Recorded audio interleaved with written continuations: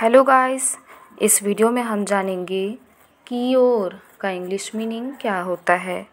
की ओर का English meaning होता है टूवर्ड्स फॉर और बाय इसे हम एग्ज़ाम्पल से समझते हैं। Example you are walking towards your death यहाँ टूवर्ड्स का मतलब है की ओर उदाहरण, तुम अपने मौत की ओर कदम बढ़ा रहे हो। इसी के साथ इस वीडियो में बस इतना ही।